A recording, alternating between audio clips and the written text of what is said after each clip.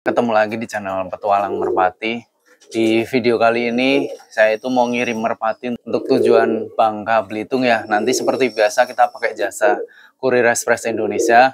Jadi dari Solo itu naik kereta dulu ke kantor Kurir Express Indonesia, terus dari Kurir Express Indonesia nanti langsung terbang ke Pangkal Pinang teman-teman. Turunnya di Pangkal Pinang ya. Yang satu pasang itu induk e, bawa anak warna putih jadi merpati pos induk bawa anak warna putih ya. Bawa anak dua ekor terus yang satunya itu merpati pos warna tritis. Terus e, dia juga minta tolong lagi dica untuk dicariin merpati warna pelontang. E, satu pasang ya jantannya itu warna pelontang. Kalau betinanya itu terserah ya warna apa aja. Terus saya dapat kemarin dari Pekalongan Terus sama satu lagi, satu ekor betina. Seperti itu ya, merpatinya seperti apa, saya kasih lihat buat teman-teman semuanya. Nih, ini untuk yang warna putih teman-teman. Oh ya, sebelum pengiriman saya kasih lihat dulu ya, tempat atau wadah pengirimannya seperti ini. Nanti ini buat yang pasangan-pasangan teman-teman. Ya, maksud saya nanti buat uh, satu pasang merpati pos warna tritis, terus uh, satu pasang merpati uh, warna pelontang ya. Uh, pelontang terus sama betina saya taruh sini. Jadi nanti lima saya taruh sini. Terus ini buat yang indukan yang bawa anak. Ini dalamnya udah saya kasih makan sama kasih minum. Ini airnya saya kasih tisu teman-teman biar nggak tumpah ya. Ini seperti ini untuk wadah uh, merpati pos putih yang bawa anak ya. Jadi konsepnya beda teman-teman wadahnya seperti ini ya karena dia bawa anak terus nanti di perjalanan mungkin masih loloh ya. Di sebelum pemberangkatan juga udah saya kasih makan tadi cuma buat jaga-jaga ya. Seperti itu saya kasih lihat dulu untuk merpati posnya. Nanti sekalian saya masukkan aja ya. Ini untuk anakan merpati posnya.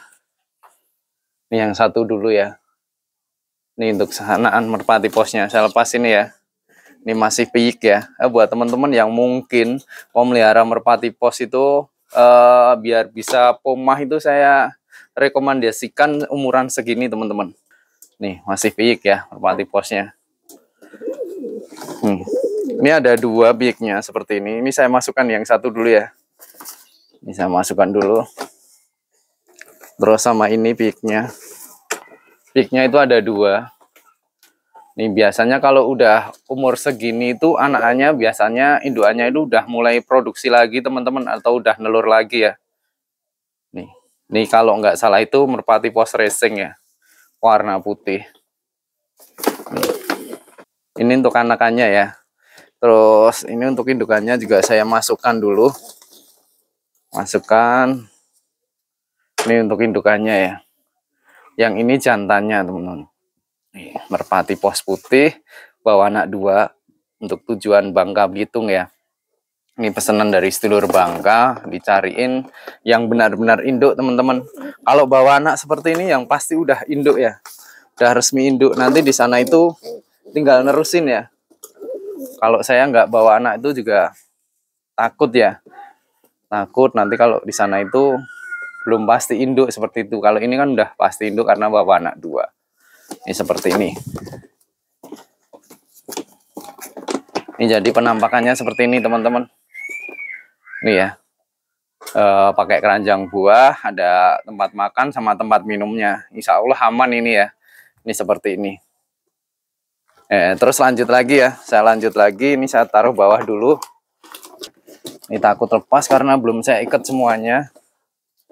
Terus lanjut lagi, sedulur dari Bangka itu requestnya uh, untuk nyarian hidungnya yang agak besar seperti itu. Seperti ini. Kalau menurut saya, saya juga nggak begitu uh, paham tentang merpati pos. Ini kalau nggak salah merpati pos jadul teman-teman. Nih, untuk betinanya ya. Saya masukkan dulu ini, warna tritis. Terus saya ambil lagi. Nih, kalau ini untuk jantannya sama ya, sama-sama warna tritis, sama-sama berhidung besar ya, agak besar lah, agak besar karena requestannya yang dicari seperti ini. Nih, ini merpati posnya seperti ini. Aduh, ini ganggu ini. Ini seperti ini. Biasanya kalau udah umur segini itu, kalau udah terlatih teman-teman, ini udah punya insting homing yang kuat banget kalau udah terlatih ya. Jadi di kandang yang uh, baru itu kalau lepas pasti pulang di kandang yang lama. Seperti itu ya, keistimewaan dari merpati pos dia memiliki insting homing yang kuat banget. Mampu terbang dengan jarak ratusan kilometer yang terlatih ya. Ini seperti ini merpatinya. Ini saya masukkan juga ini yang giringan yang warna pelontang ya. Nih. Nih, yang warna pelontang. Gagah banget merpatinya. KTP Pekalongan. Ini juga mau terbang ke Bangka. Ini saya masukkan betinanya ya. Ini saya masukkan betinanya. Nih merpatinya seperti ini. Alhamdulillah sehat ya. Temboloknya juga udah kenyang rajin-rajin bulunya nyutra bersih terawat banget merpatinya mata Jawa nih mata Jawa seperti ini semoga besok selamat sampai Bangka ya nih ini jantannya saya masukkan dulu nggak saya banyak saya review karena ini udah laku ya teman-teman jadi cuma saya kasih lihat aja terus tinggal satu ini yang betina ini yang betina ini saya dimintain tolong juga untuk uh, cariin satuan betina. Betinanya seperti ini. Ini geberannya juga enak banget teman-teman. Ini. Merpatinya nggak besar banget juga nggak kecil banget ya. Cukupan. Mata jagung bersih juga merpatinya. Ini seperti ini ya. Saya masukkan dulu.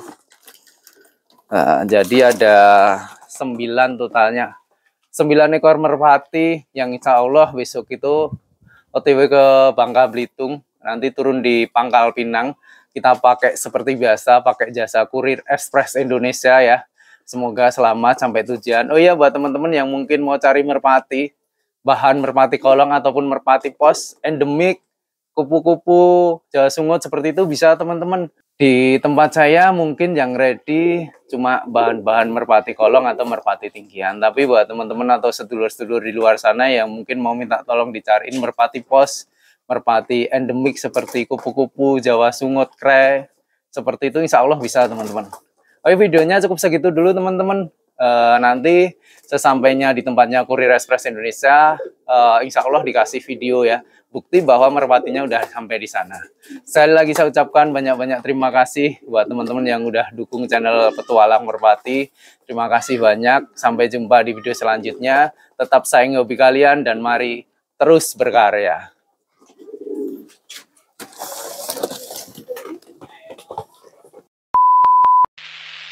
Selamat siang bosku, petualang merpati. Kita cek merpatinya ya bos. Ini ada 9 ekor, kondisinya sudah masuk di Kura Express Indonesia. Ini untuk tujuan ke Pangkal Pinang ya bos. Ini untuk merpatinya ya bos, aman. Bisa kita kondisikan untuk penerbangannya bersama Kurir Express Indonesia. Terima kasih.